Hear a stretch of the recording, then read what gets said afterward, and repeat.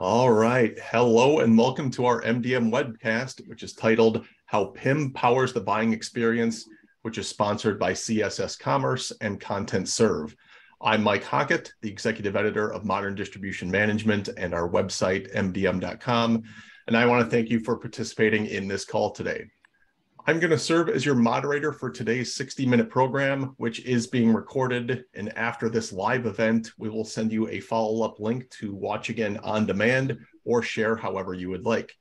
And I'd like to say right away that we do encourage everyone in our audience to ask questions at any time during this hour via the chat function. And the more, the merrier here.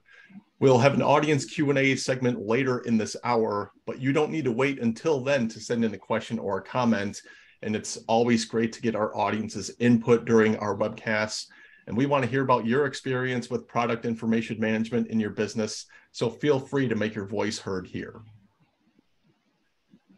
Joining me today are three featured speakers who have a lot of expertise in this area. Here today is Brandon Snyder, who is the head of online, commerce, online customer experience at City Electric Supply, Alex Semerel, who is managing director at Contentserv, and Rob Newman, who is the chief, strat- chief digital strategy and marketing officer at CSS Commerce. These three will offer a very nice combination of perspectives from Brandon, who already has nearly seven years of product content management experience at Allied Electronics and Automation, besides City Electric Supply.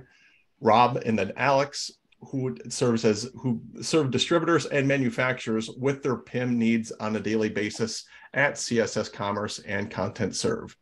Those three are going to present some PIM insights before we dive into a panel discussion. So what are we talking about today and why are we talking about this? You know, why is this a topic we need to explore? Well, over as we've seen over the past decade and especially from 2020 onward, distributors are now hyper focused on providing the best possible customer buying experience that they can, or at least the leading ones are. And this involves a lot more than just having the right product information in the right place. Today's buyers now expect personalized and accurate product content no matter where their touch points are with your products. So the goal of this webcast is to show distributors how to create a comprehensive buying experience that reduces shopping cart cancellations, converts more customers, and leads to incremental sales with greater efficiencies. And as you see, as you see on screen here, here's a quick preview of some of the talking points we plan to cover today. And we might do these in kind of a various order here. One of them is what are our product information management goals? And what do they look like for different companies, whether that's different, you know, different markets, different sizes of companies. Uh, this this in distribution sector is so fragmented that PIM can look different for different companies. So we want to touch on that. We're also going to touch on what needs to be done to meet those goals. And there can be a more basic version, uh, kind of setting the stage, and there is a more complicated version that we'll be going over here. We'll be covering connecting things together with PIM management and how PIM enables different parts of the business to communicate with others and kind of unsilo those traditionally siloed operations.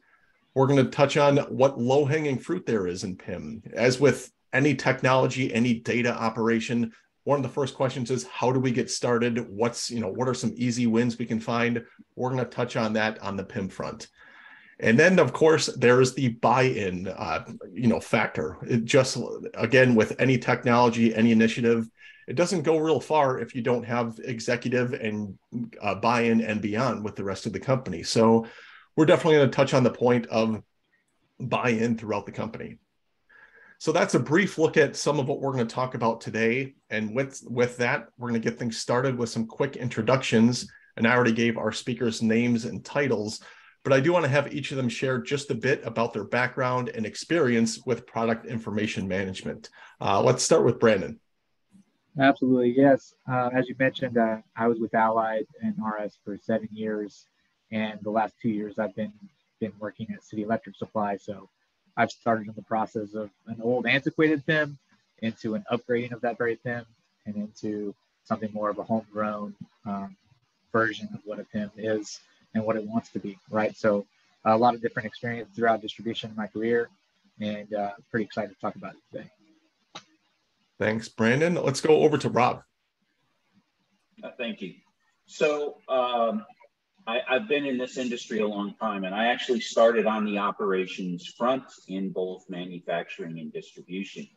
Um, I've moved through software, being both on the product side and now as an SI, systems integrator, helping customers actually achieve the goals that they've set on implementing a PIM, why and how.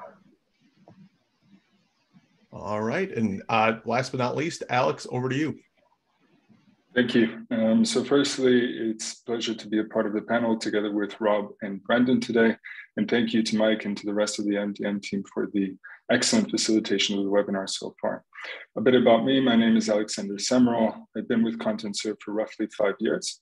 I'm responsible as managing director for the US, which means looking after our go-to-market strategy in terms of sales, marketing, um, operations, and customer success. A little bit more about Contentserv. We're a leading PIM and DAM provider. We have roughly 20 years experience within the market. We cover three main regions. That's US, Europe, and JPAC. Um, and we have around 360 customers, both within the B2B and B2C segments globally. That's it for now. Thanks, Mike. All right. Well, without further ado, we're going to dive into this discussion by I'm going to turn things over to Alex. Alex, it's all yours. Right. All right.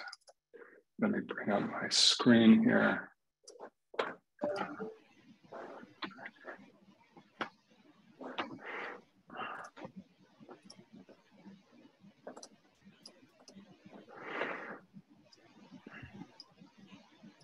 All right, maybe someone can just give me a thumbs up once yeah. they're able to see it. Perfect. Thanks so much, Mike. Um, today, what we'd like to discuss and share more about is the fundamental shift in buyers' experiences and how PIM can play a vital role within this transformation. How certain conditions from our past, you know, with COVID, supply chain issues with materials, hampered logistics, higher costs of shipping goods, to name just a few, have led us to where we are today and how these factors have, and I think will continue to transform the buyer experience within the manufacturing and distribution fields. Now, I'm really happy to share some of our learnings and experiences together with Rob and Brandon, and we'd love for you, our participants as well, to really engage with us, and please do ask any questions in the chat as well. All right, to start off with, we first actually had a question to you. Um, so this is a question pertaining to the shopping experience within the B2B field. Um, when we were putting together these slides, uh, I have to say I was really surprised by this statistic, especially how impactful this can be for buyers in the B2B industry. Now, the question is, how many customers in B2B expect a personalized shopping experience? Options that we have is 20, 40, and 70%. What's meant here by personalized shopping experience is any initiative available to tailor the buying journey toward a specific customer. As I said, we'd really love for you to share your thoughts regarding one of the above numbers. Mike, were we able to send out that poll? Yeah, we're ready. Uh, the results are coming in right now. Uh, we'll keep it up for okay. about another 20, maybe 30 seconds. But uh, yeah, we already got over about a couple dozen responses, so we'll see um, just how many we get. But yeah, we'd love everyone to vote on this if they're if they would like to. Please, yeah, that would be fantastic. Um, Rob, Brendan, were your expectations moved in any way towards any of these yeah, three options? no, I was thinking about seventy percent. You know, would probably be on the light end, uh, maybe closer to hundred if it was hmm. possible. Hmm. Well, I think you know, based on who's running you know, uh, distribution, um, I think it may be a surprising answer uh, to, to some, right? Because B2B, we've always been very factual, down to earth, particularly in, in distribution. But I think folks have caught on. so that's a great answer to the poll. But go ahead, Alex. Yeah, and I see that that's also reflected in the poll. So 23 out of 30 participants actually went for 70%. And if I go over to the next slide, um, that's indeed reflected in the results. So this was a study which was performed by Forrester. It was actually really, really eye-opening for us um, because there's a clear distinction between the current expectations of B2B customers and the actual reality of what is being offered today. So this was a study conducted with roughly 1,000 businesses and their customers, of course, were surveyed as well. In that study, 73% of B2B customers expected a personalized shopping experience. Now, the delta or the gap is that currently only 22% of B2B customers have indicated that their last online experience was personalized and tailored to the extent with which they were actually happy with. So I think a real opportunity here for these businesses to hone in on potentially. Now, it's also important to mention that B2B buyer expectations are consistently changing. I don't think there's any real point or topic that our panel will be able to outline today that is leading to this. Realistically, I think it's a combination of events and factors, not least to say that you know B2B buyers are expecting the same level of service and quality as with their other online purchases, you know, making it easy, seamless, maybe traceable and transparent what type of product they're buying, the product details, and being able to find the right information quickly without losing time. So if we look to the left side of the screen here, an important foundation from the past is being able to sell your products online as a minimum. Yeah, we know that COVID was a catalyst for this happening having more content available online and offering that content in an omni-channel way or a fully integrated shopping experience across all touch points, you know, whether that's your brick or mortar stores, online or via mobile apps. If we shift to the right-hand side and we move over to today, my view is that buyers are expecting a more loyal, consistent experience, which the business is offering them via the purchase journey, both pre and post purchase as well. Um, I think certain content which is contextualized will be crucial as a differentiator here for businesses to be able to identify and offer specific product bundles for return customers or reoccurring buyers that reflect their original purchase. I think there's also been a shift from selling products as you know, individual SKUs or objects available online to actually offering a full service solution in terms of better understanding and profiling the buyer, their industry, their product requirements and tailoring the purchase experience based on that. So what we wanted to do here was to outline a few factors which our participants today, or businesses even within the distribution area, may be experiencing. Now, the reason why we wanted to include some of these questions is it can help articulate a few of the pains and challenges our customers experienced in the past, several of which may resonate with some of our participants today. And I think for brands and retailers which are product oriented, being able to have confidence in managing their product data, content, and digital assets is really key, especially as it serves as the foundation for the interaction with the respective customer. What we've seen is that there can also be a whole host of different systems and processes which can cost a business a significant amount of time and effort to try to manage, especially if this is in a defragmented structure using multiple legacy systems, you know, whether that's Excel based, different forms of data pools or data lakes. For many businesses in the B2B space as well, focusing on providing more content and products to marketplaces um, like Amazon, Google Manufacturing Center, uh, will be a key element to introduce or to reinforce in the future. Buyers at the end of the day are, I think, starting to expect products to be available on marketplaces like these. So content syndication will be an important element here in the future. And I think having your data in order is also a key differentiator in overcoming certain market challenges that we've outlined here at the bottom of this slide whether that's the emergence of low-cost competitors, where we know product data is unique selling proposition, um, improving scalability of products across all channels, or improving rates of internal collaboration between teams, right? So from product conception to enrichment and to go-to-market, these are also going to be key factors.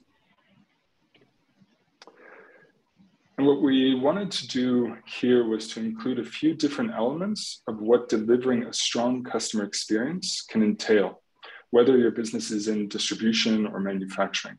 What's important, I think, to mention here is that there's typically always a combination of factors which businesses can work to incorporate consistently and sustainably to for their customers to experience a great purchase journey.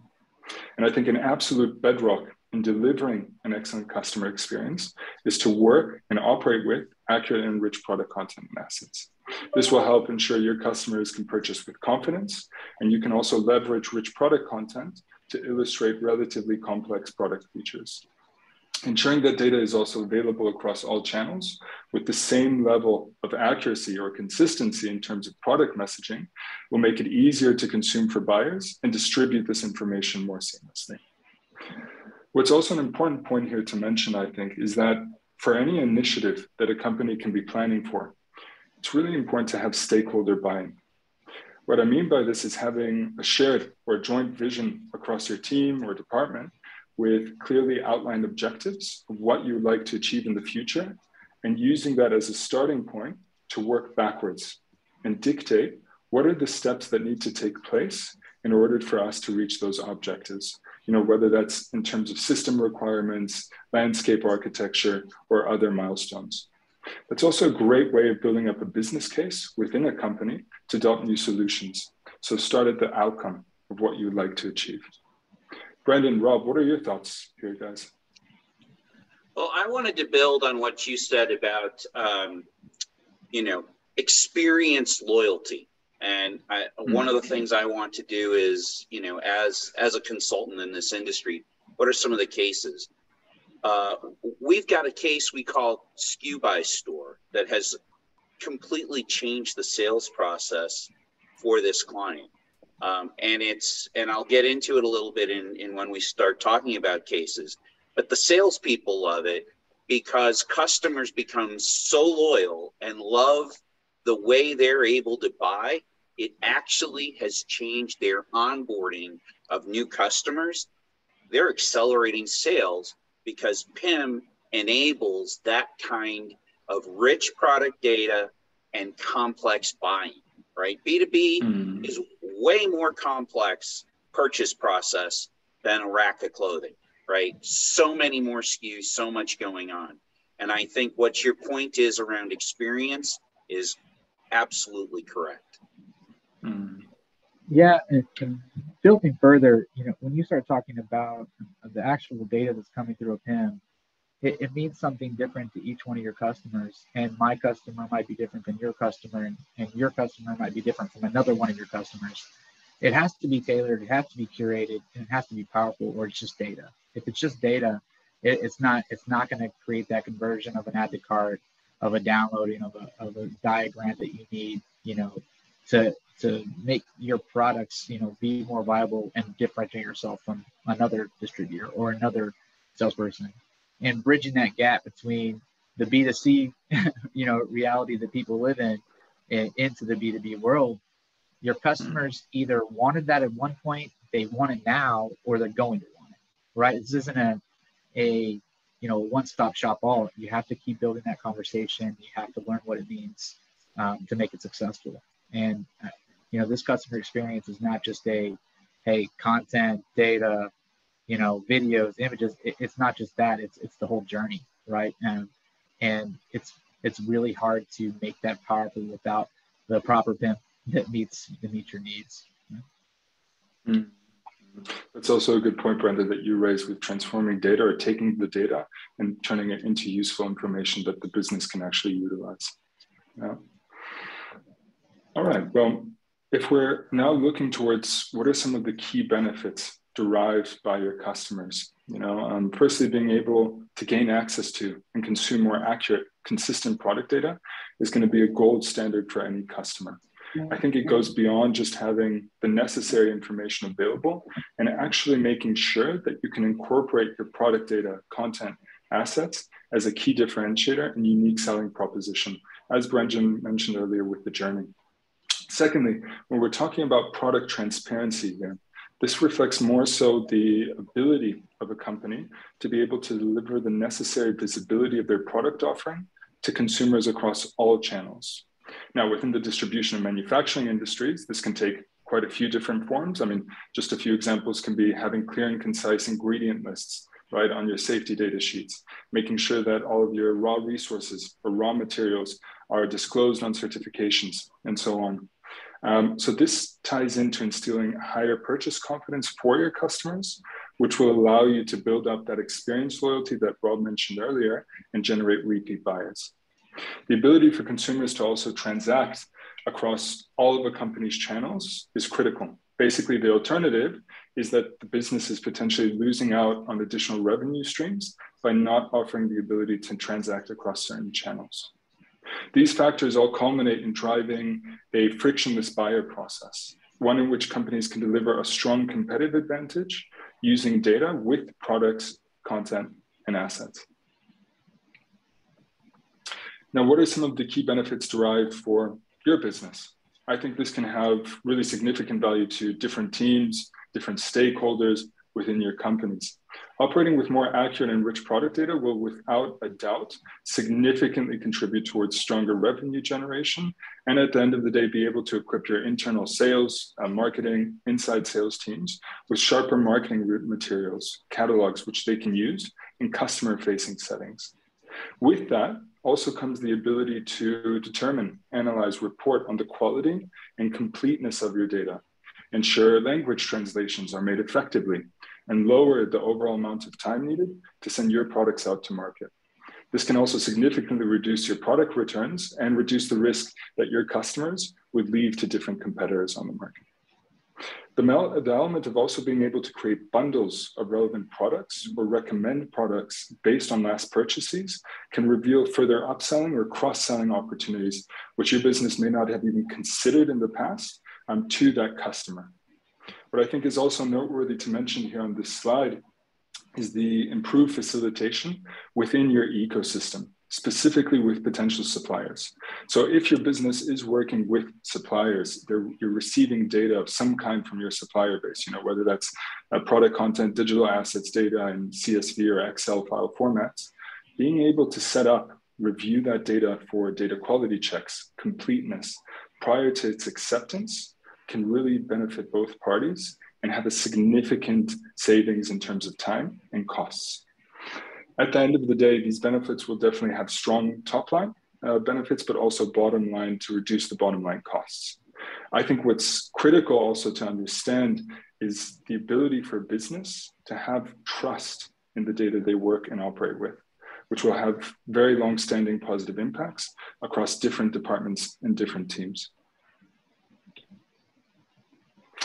That was a short overview guys. Um, so I really wanted to thank you for listening into this portion of the slides. I hope that proved insightful, useful, and maybe offered a fresh perspective regarding how the buyer experience is changing and what you can do to help support your customers. Um, Mike, I believe I'm going to hand it back over to you. All right. Yeah, I think I just need you to end your screen share, and then I will start mine. All right. Uh, Rob, I'm going to hand things off to you to take us from here. Thanks so much. What I'd like to do is cover the three biggest questions we get asked, right? Um, once you've made the decision that a PIM is right for you, and how do you actually, um, and how do we respond to that, and and um, and sprinkle it with a little bit of uh, of salt and pepper around uh, around what we've found with uh, various customers um, you know, a little background about our, our company is the, the reason we've got the experience, we specialize uh, in B2B distribution. Uh, distributors are 90% of my business and it's, it's, you know, we're very focused on it and, um, you know, they may be incredibly um, simple uh, or, or everyday products, but there's a lot of them. So we tend toward complex uh, products, you know, lots of SKUs, complex assemblies, and th that's our business. So here's here's what the, the customers ask us. Slide. Okay. What's what's the reason why I should look at a PIM? What what is it that I'm really trying to do? And and here's here's why right? People don't usually change unless there's a problem. and so most of our customers actually come to us either to redo work, unfortunately, or to fix things that they've encountered, often by not having a PIM, right? Trying to load your e commerce with a million SKUs um, will, will drag your system to a grinding halt, honestly. Um, the effort connection. By effort, I mean the hours of management, the ability to create connection around what you need to deliver.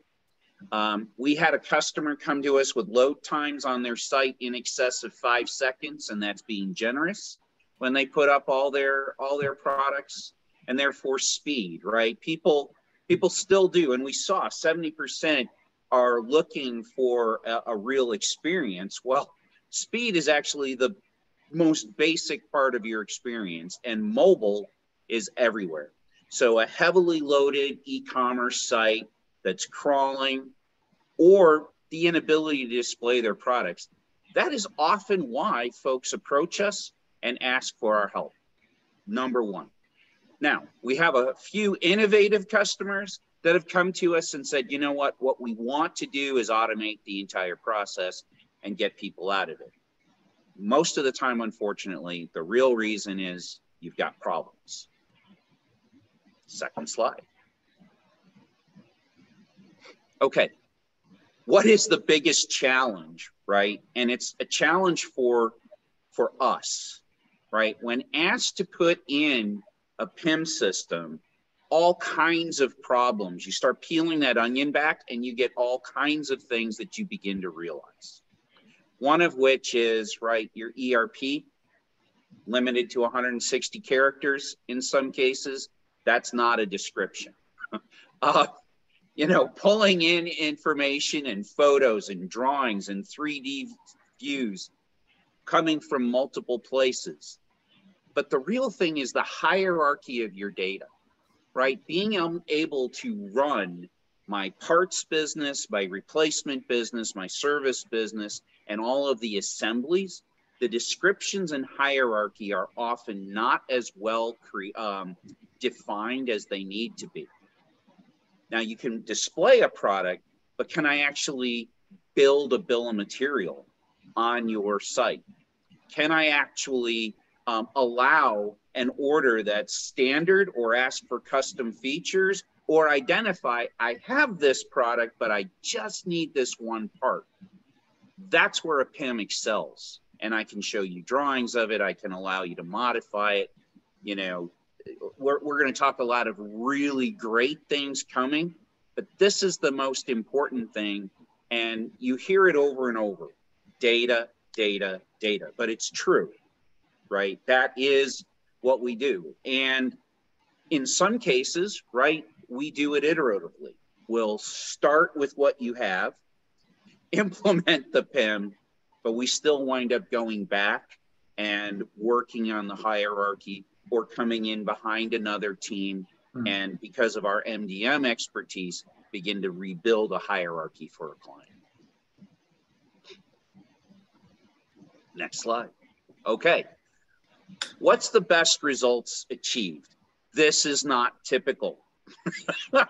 um, when it's really bad, um, you can have incredible uh, results, right? So when we took um, one of our case studies um, and, and are happy to share it, right, um, that had incredible blockages to doing business online. And it had everything to do with um, supply visibility. Do I actually have an, an inventory, right? Because I've got multiple warehouses and I'm ordering across multiple channels. PIM really can help with that.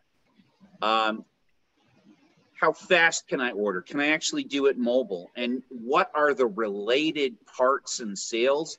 Actually putting together alternative and complementary items. We achieved 30% actually winds up being $30 million in a month. Um, the ROI, we did not charge nearly enough, but but um, but for a $30 million one month incremental change, right, unleashed this torrent of built up demand that they knew they had, and in some cases were achieving, but were completely overwhelmed with their salespeople and completely overwhelmed with systems that just couldn't handle it. That's the best results we've ever achieved. More typical, right, is you will see um, a lift in sales. You'll see a decrease in labor to handle your e-commerce, and you will free up your salespeople from being order takers, which they often are, into prospectors, where they're getting you new business. But here's some other ideas of benefits we've encountered, right?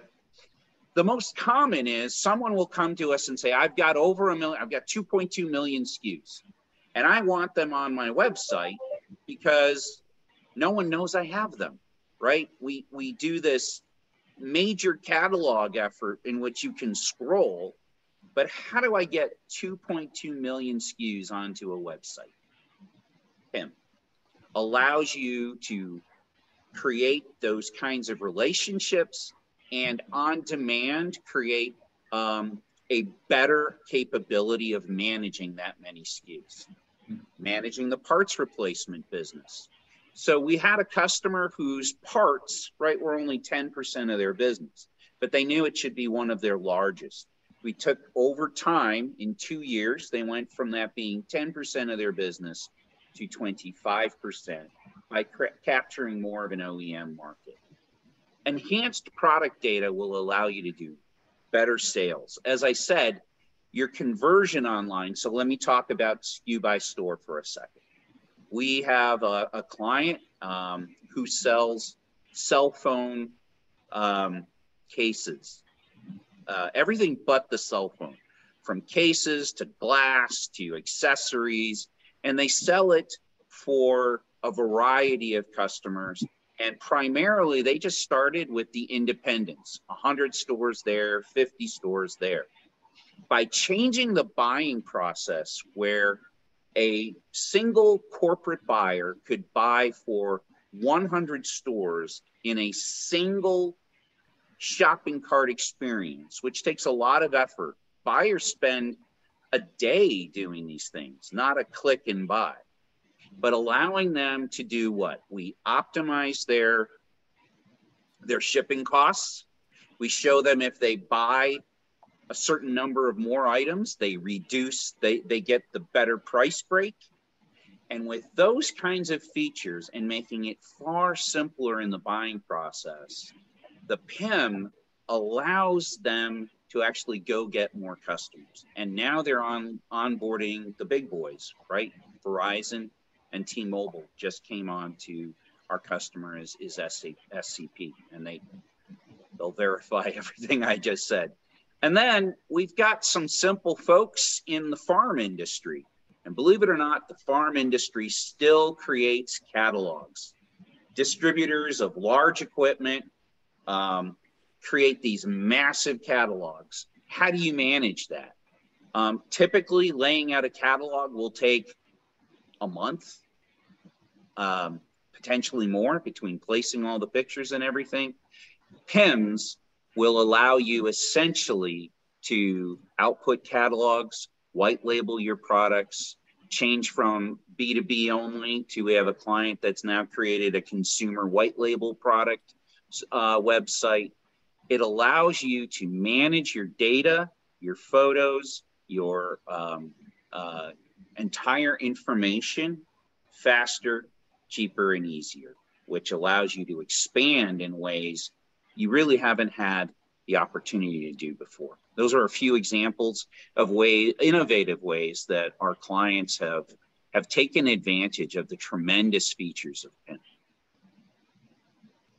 That's my sh- my sharing for now, unless we've got questions or ideas. We we really do welcome your questions, right? It spurs us to think better and, and to actually be specific to what you're looking for, right? And the great thing is you've got um, you've got the the guy who actually does it in, uh, in for the real for the real deal at City Electric.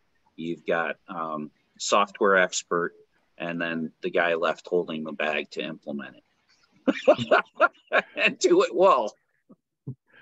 All right. Uh, yeah, indeed. Uh, you know, thank you, Alex and Rob, for that presentation. Uh, obviously, a lot of ground to cover here, but yeah, I love that you guys kind of hit on some of these key questions that you know anyone interested in PIM would have to know. And uh, thanks to Brandon for your insights along the way. And as Rob said, at this point, uh, we're going to continue this discussion by shifting to, you know, a panel discussion and an audience Q and A. That way, the speakers can share more insights in a more uh, free-flowing format here. But before I do, uh, like Rob alluded to, we definitely want to remind our audience that you can submit a question at any time or comment uh, via that that Q and A function. And I'm sure that these three are up to the challenge of answering almost anything you can throw at them. So uh, we're going to start out here uh, going back to a point that you guys uh, made earlier uh, in the presentation here. You know, when you talked about what are the the key indicators that tell a company whether or not they need a, P, uh, a PIM, whether they not need to start using one, and you know the common reasons for getting one. So I know you guys. Uh, I don't want to make you rehash what you just uh, covered, but anything else that you can say on you know what some of these common indicators are, or these you know these these red flags that tell a distributor we really need to be using a PIM. And whoever wants to take that can go ahead. Well, I'd love yeah. Brandon. Why did what drove you to do it in the first place? Yeah, I, I think I think that the knowing why you need a PIM is always got to be the first step, right? Um, and and a lot of times that will start with education, and you're going to need some buy-in from someone internal in an organization that understands the value. Because, like, like you said, you know, you can throw an Excel file or an FTP, you can you can call to it, you can get this basic basicality done to where they can still transact on a product online. But you're missing out on everything that you guys went through and the, the personalization and and and creating those conversions even faster. Uh, a, a lot of people will say, hey, uh, an image is not going to, you know, make the sale for you. Having a great image on this, this site is not going to make this, this high conversion and make this great sale, but it will absolutely prevent a sale, right? So you, start talking about, um, you know, blockage, and that's what content can be. Uh, having a blank image, having a terrible description, like you talked about, 160 character or an 80 character or a 20 character description that's off of a price file is oftentimes not going to even get traffic to your site, let alone a conversion. And oftentimes you'll realize that your biggest web traffic conversions are those buyers that are going from a list of, a, uh, of part numbers and, and you happen to be, you know, selling them, but you're selling them because they're a part number, right? And the content's not bringing bringing that traffic there. So, you know, understanding that, that that's, you know, a, a need is, is, is a big, big time but also the education piece. Everyone has to understand it, or they're going to just think it's just another fancy tool and not a necessity, right? Any follow up there? Well, I, I think Brandon makes you know the, the the perfect point around every customer, right? Everyone who wants to um, to to do a PIM, right? They're thinking through what the business case is right? And a lot of times we get asked to help with that, right? What is the business? What am I actually going to get by investing this money and this time? And and let's not kid ourselves; they're major projects, right? Typically, right, a brand new PIM um, will take four months to to to put together.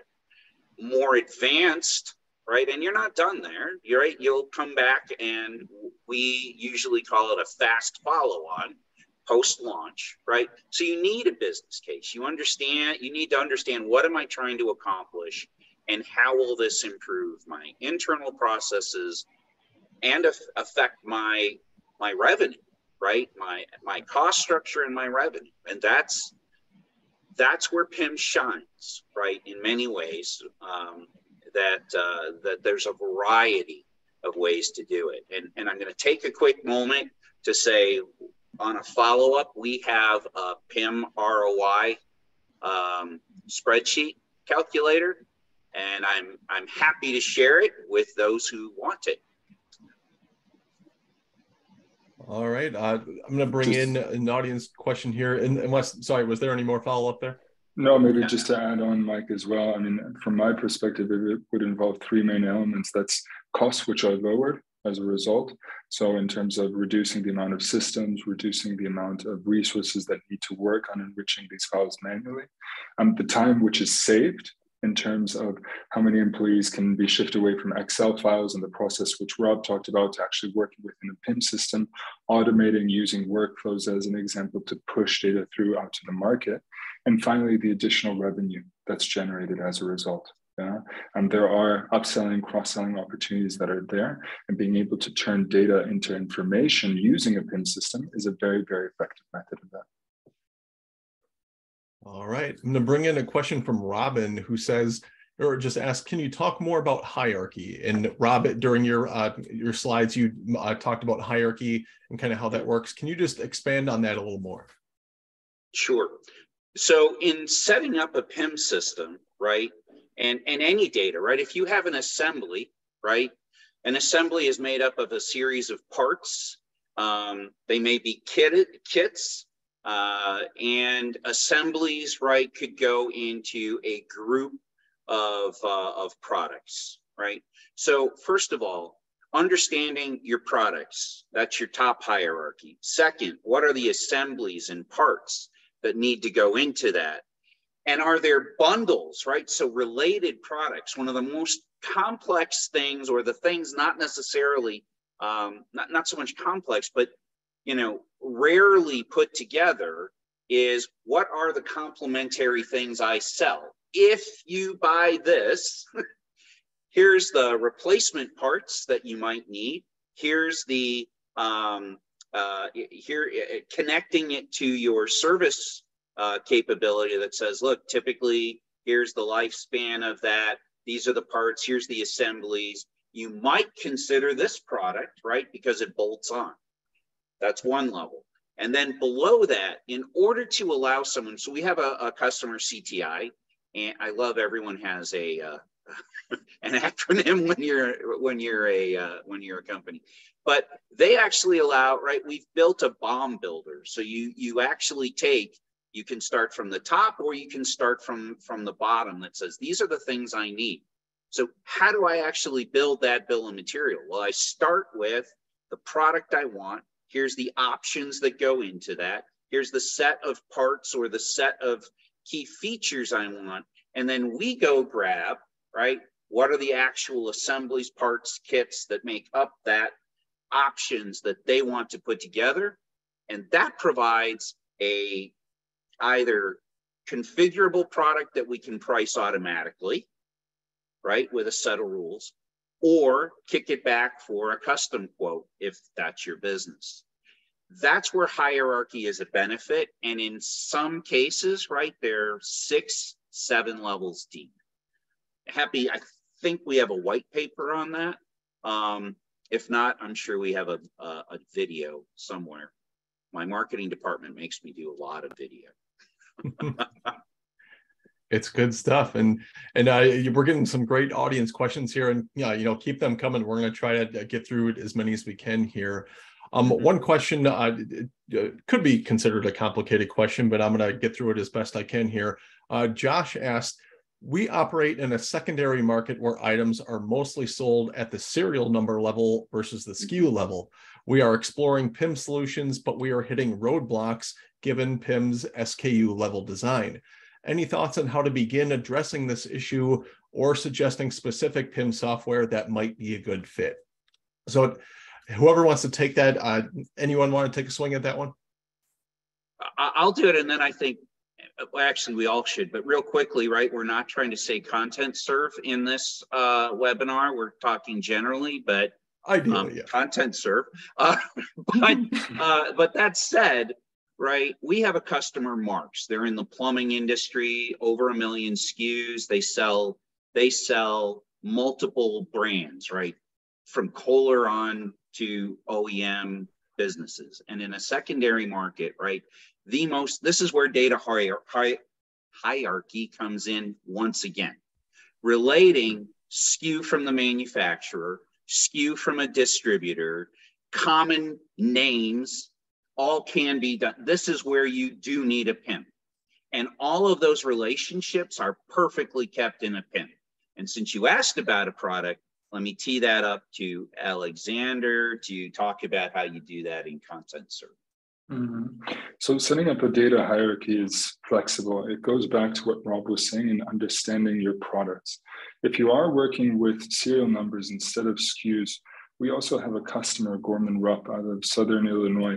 They're working with multiple brands. And the way that they set up the hierarchy there is to be able to include, let's say, a parent level with multiple different serial numbers of products below that. So I think once you have the right PIM system, it's not so much about setting up the hierarchy that's going to be a problem. It's more about understanding how you would like that to be set up and what's the most efficient process to be able to manage within Contentserv or any other PIM that's available. Brandon, do you want to also share your thoughts from your perspective? Yeah, I mean, you, you guys could obviously speak better to this, but from from our side, you know, when you sell wire, right, mm. you, are selling it by the foot over and over and over again for that same SKU, right? Um, and being able to differentiate that through hierarchy, through a different color, through a different material, it, it becomes necessary, or or you can send the wrong wire to a to a customer and then pull the job and you be out, you know, thirty thousand dollars in labor costs, right? So the, the thing the thing comes comes full circle when you're talking about hierarchy for a lot of these questions that I see in the Q and A is establishing what that hierarchy is um, out of the gate and then adjusting it where you need to because the benefits are just they they you won't even know the benefits until you have them when a marketing piece needs to call on just a series of products rather than a list of 100 SKUs that you give them, right? Um, it, it, becomes more powerful, and it, and it, like I said, it touches on a lot of the questions that I'm reading through right now. Uh, and, and, a PIM is going to be the your you're into the hierarchy status, right? Let, let me follow up, right? It, it just occurred to me we do have a customer that sells by serial number. They're in the firearms industry, so the ATF controls, right? Every single every single serial number has to be accounted for. And what um, uh, Alex just talked about in terms of that capability, just like his customer, um, that's that is an area again where you want to have a PIM. It is about that hierarchy. He's 100% correct, but you can sell by serial number, no problem.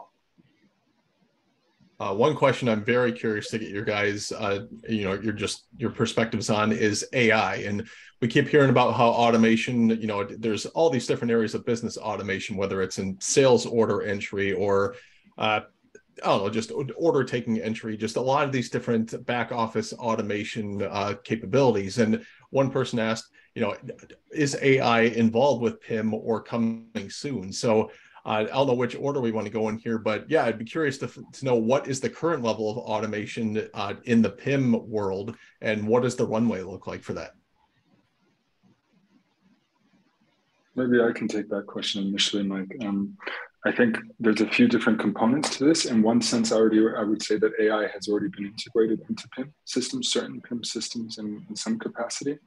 And I think we can break it down to a few different levels. One is channel analytics. So being able to understand how well products perform and what are some of the recommendations that would be suggested back to product managers is very, very insightful and useful information. Two, contextualization. So being able to identify, profile consumers that are visiting your website and match those with potential products or bundles of your products is definitely an area that's also, I think, going to be elaborated more in the future and will leverage AI even more so.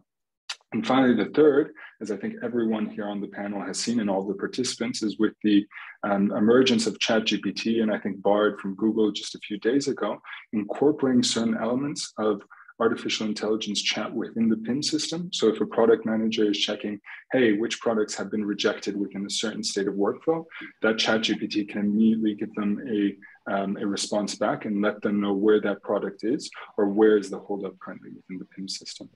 Rob, would you also agree? Do you see different use cases there?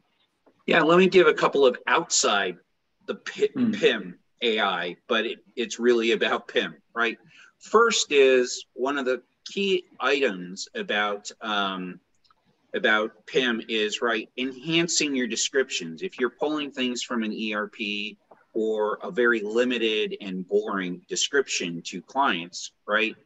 AI allows us to go and find related descriptions, look at your manufacturer descriptions, and actually enhance your descriptions um, really effectively. It's reduced that time for us immensely. And then the second is search. Search is one of the most important revenue pieces on an e commerce website. Well, not the purpose here, AI driven search has to have something to go search. It searches your PIM system. Uh, Brandon, any any your perspective on you know how either City Electric is using supply or just how you've seen it apply to PIM, you know, in the past or right now? Yeah, AI is a is a is a dirty word, right? Uh, for for a lot of a lot of us and a lot of what we're doing, but it doesn't have to be. You know, if you break it down to a, very small um, detail of what your customer might need, um, with like you said, that data that it's searching could be your PIM, and as that data has to be clean for the the AI to work properly, right?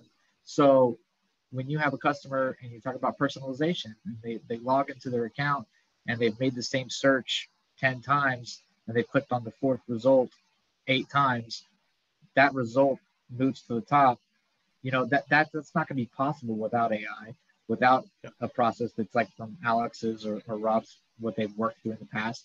But the data has to be clean and the hierarchy has to be clean for that to be possible but it, it, it helps personalization and it helps everything that, that we've talked about.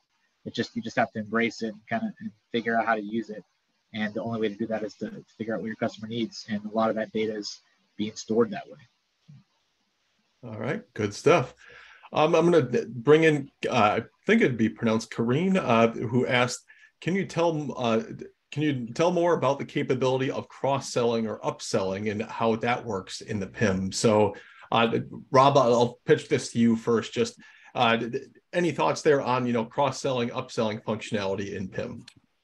Yeah, and I'd I'd love to hear you know what what Brandon uh, has to say about it. But this is a lot of you know the implementation of a PIM. What are you trying to accomplish, right? That's kind of where I sit in delivering the results. Um, the the the simple answer is uh, cross-selling being able to understand what is bought and what else is complementary to buy. Uh, if I buy this, I need that. You know, let's let's think about Amazon, right? There's always a list of here's stuff you might consider with it. We do that. Um, and it takes a PIM to do it, and we combine it with search technology when we implement it. Right? There's many ways to do it, but I think the the upsell capability, right, or a capability actually of understanding what's your margin. So um, with Marks, right, we created an understanding of combining what's my actual margin on the Kohler versus my OEM, right? Now, my OEM product is actually cheaper, but Marks makes a much bigger margin, right? So we always display that. The highest margin product is always displayed next to what they specifically asked for, right? I specifically asked for a Kohler faucet. Here's your Kohler faucet. Have you considered this slightly cheaper but more profitable product for us? Those are the kinds of things that work. Um, the other thing is if you're doing omni-channel, right? The same thing, that same data has to be loaded into your marketplace. And really the only way to manage it effectively across multiple uh, places as a. Uh, Brandon or uh, Alex, any thoughts uh, additionally about cross selling or upselling? Yeah, it's it's one of the key levers you pull in e-commerce, right? You know, page traffic, conversion, and average order value, right? Average order value is is always kind of looked as the third version of, of what you need to do to increase sales, but but it's it's a common thing that Amazon does really well in the B2C space, like like Rob mentioned. I have a golf club in my in my cart. It's telling me the golf balls and the, the golf club that I need to go with it that I didn't know I needed, right? And they had a sell already, but they increased the average order value by putting in a nice little package. Would not be able to do that without robust PIM with enriched data and and and being, you know, up in the forefront of that technology. You can't do that with an Excel file, no matter how how good you, you guys are in Excel. It's a, it's a it's necessary to have a PIM to do that. Uh, I, I, think you guys may have, uh, or Alex, I wasn't sure if you had anything there. I mean, maybe just to add on regarding cross-selling and upselling, Cross selling is essentially tying product bundles to already what's been bought, right? And saying, all right, here's a list of products that would be applicable towards their purchase that you've already made. Um, this can be managed within a PIM system relatively easily by just creating a bundle around a parent, let's say. Um, if we're talking about upselling, this is a little bit different, right? Because it's a new opportunity to sell something to a customer which may not have previously been aware of that product. So it could come back to contextualization a little bit and identifying what that product or what the correct product would be to present to that customer at that time. Um, I think it piggybacks off a little bit what Rob was saying earlier on. And I'll, uh, I'll, I'll, build sorry, one more quick thing, right? Mm-hmm.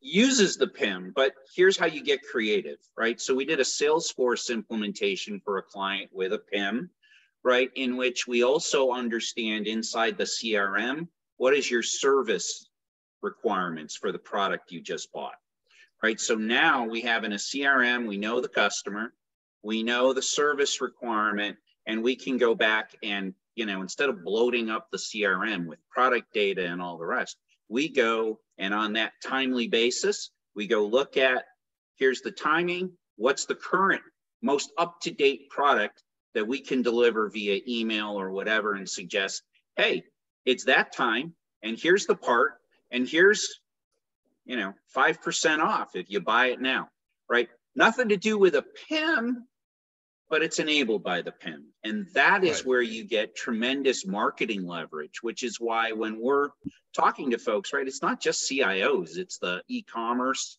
it's branded. Actually, it's that's who we're talking about, right? People with revenue responsibility is yeah. is often our most important part of the of the internal customers. Hmm. I'm going to get one more question here if we can take this one quick. Uh, Alex asks, and you guys might have already touched on this earlier, how do you handle or market two similar items from different suppliers? And uh, he adds, I suppose this is a question about product representation. So uh, any of you guys want to take that one about, you know, handling two similar items from different suppliers? I mean, within, so if we're talking about supplier onboarding, um, both of those products would be managed in slightly different variations. So one supplier would be able to upload their own data set, and a different supplier with maybe a similar product would have a different data set there. And when those um, both of those sheets would be accepted or consumed into the main PIM system, they would have different um, characteristics and attributes and also different SKU count as a result, whether that's a unique identifier, a serial code, whatever it might be. Yeah, so um, in practicality, that's the way that we could differentiate between those two products. Brendan, I, I know you wanted to add something there as well. Yeah, I was, I was going to say it, it's depending on what your customer wants. Do they want three options for a product? Do they are they brand specific? You know, are you trying to push your own brand? You know, an mm-hmm. Amazon Basics brand or, or what? Um, but the more options the customer has to, to make the conversion, it, it's up to you. But it's very easy to distinguish that stuff in, in a PIM. I, All right. Quick, quick ad. Yeah, go, go ahead. I, am so glad uh, Alex brought up, right? We've talked about PIM to e-commerce, PIM to e-commerce. PIM actually en- enables the vendor portals, the management of vendors, and makes it a whole lot easier to get that information into your system. Um, we, we haven't talked about it, but uh, it's really important as well. Mm-hmm. All right. Uh, we did get one question just a second ago, and I think uh, someone else, and I, I thought you touched on it, Rob, earlier, but they do ask what is the average implementation time of the PIM and what are the areas that should be involved? So, as quick as you can, just any idea on the timeline there? Four to six months, um, right. typical, right? And and as always, right, mm-hmm. it's due to customer pausing. right? Sometimes we're ready to move, but we've got to work through it with the with the customer. And then I see what are the areas you need marketing, e-commerce. Um, you do need IT involvement, uh, a good project uh, manager, product managers. Um, those are the key stakeholders uh, in in your company. And oh, just to add to that, Mike, if I can, I think Rob absolutely said it. So four to six months roughly is the implementation time. I would, what we would always advise our potential customers to do is to sit down together with us, sit down with CSS Commerce, and let's do a scoping workshop to better understand your requirements, to deep dive into some of the challenges, the pain points that you're looking to alleviate. And that will help set up a really efficient blueprint for implementation to take place. All right. Well, that is all the time we're going to have here for Q&A. Uh, so that essentially wraps up our discussion here today on how PIM powers the buying experience. And um, yeah, thanks again to everyone in the audience. We yeah, we got a, a lot of great questions there uh, as we went along. So I really want to thank you, Brandon, Rob, and Alex, for all of those insights. Uh, as we covered here, there is a lot of layers to efficient product information management. And while some aspects aspects of this are certainly market specific, I think essentially everything you three covered here today can be applied by any distributor that has embraced online digital sales. So Brandon, Robin, Alex, you guys covered a lot of ground here. Uh, real quick, I want to give you a chance to share any uh, real fast parting thoughts or last words with the audience on this topic. Uh, Brandon, to you, and just keep everything as short as we can. Yeah, of course. Quickly, the, the biggest thing is education internally. Uh, you have to get that taken care of before you can even start these conversations, or you're just wasting everybody's time. And four to six months for a PIM implementation sounds great to me. Uh, never seen it anywhere close to that, but it sounds awesome. Rob, over to you. Yeah, um, we do. Look, education is right.